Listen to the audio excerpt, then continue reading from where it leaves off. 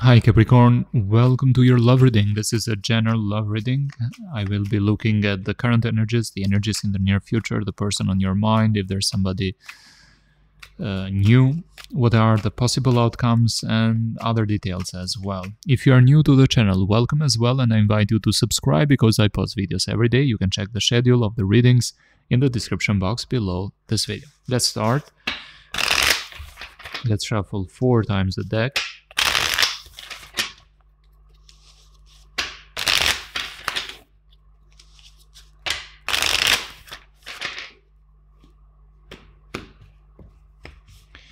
Okay, let's see what are the energies around you.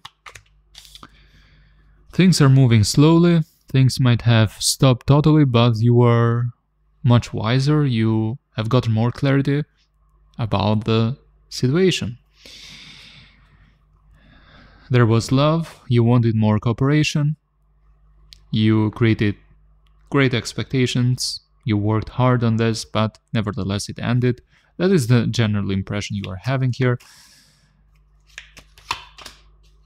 I think that you are overanalyzing the situation, and this makes some of you sleepless at night, affecting your sleep or just uh, making you worried that things are not progressing or they might have stopped uh, taking action towards you or expressing love and feelings. What about what is a what is happening in your subconscious that you might not be aware of? Confusion about the situation. Sometimes you think about the good moments, sometimes about not the so good moments, and um, you have uh, sadness, disappointment, regrets from this relationship, and just be try to be more conscious about this because this might be blocking you from some good opportunities, new opportunities that are coming towards you. I see those opportunities very near, in fact. Uh, and yes, what was the main challenge in the past? A connection that could not be long term and happy and stable. Some of you were married and uh, unfortunately divorced, and yes, you had created some expectations about long term commitment with this person, but not only it was not solid or stable, it was bringing so much stress and anxiety. Now, the connection might have been very intensive, very passionate, but toxic and unhealthy, and you want to be aware of that. I think that you have this hope of celebrating the love as soon as possible with the right person for you, and you want this to happen as soon as possible. This is your wish fulfillment. To be in a connection, but connection that is healthy, stable, joyful. Let's see about this person that is on your mind. What are their energies right now? Towards you, towards the connection you had. The Four of Wands, Two of Pentacles reversed, the Chariot. Now, this person wants to meet you, wants to connect with you, but they have made a logical decision to move on and to give up on this. They have been contemplating or hesitant going back and forth in the past, but now they want to move forward and they don't want to talk. But how did they enter this relationship? Okay, when they entered this connection, they were in a low mood. They might have uh, separated or broke up from a very important connection of theirs in the past.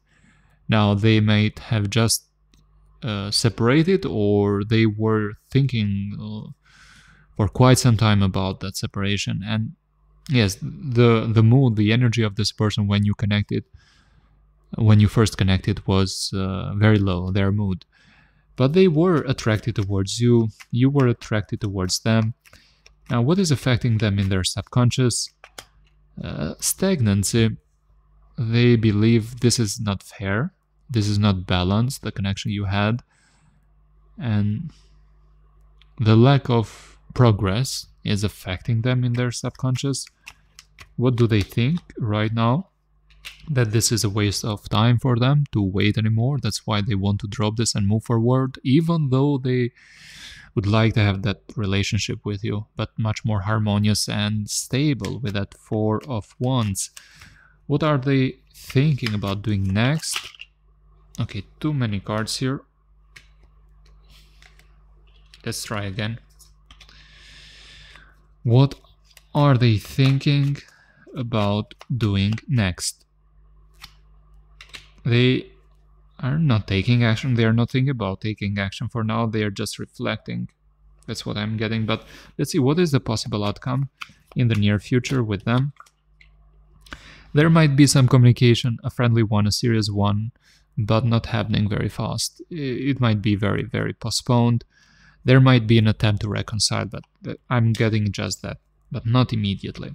Now, if you want to know even more details about this person that is on your mind, there's an extended video in the description box below with even more details about them and you.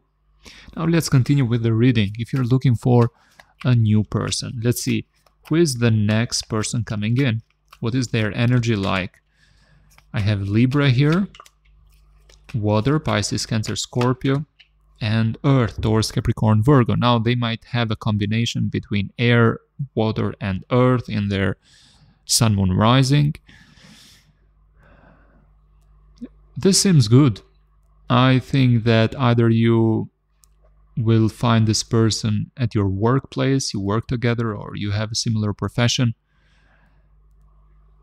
This is a very balanced, fair person. They will come towards you like Prince or Princess Charming, like in the movies. It might seem very romantic the beginning. Look at that, the Sun card. Very happy. I think this seems like a, a very loving start working together. They want to work together with you. They want to know your goals so they can align their goals with yours in order for you to be on the same page about the future of this. I do see very good energies about uh, the next person coming in if you are interested about a new person. I have Leo here as well. And summer season. Maybe you will be meeting this person very soon or you might have already met them. Okay, Capricorn, this was your general reading. I hope this was helpful. If you haven't subscribed already, I invite you to subscribe because I post videos every day. Hit the like button and share the video if you want to, especially if this resonated with you. I highly appreciate it. I will see you the next reading. I wish you all the best and bye for now.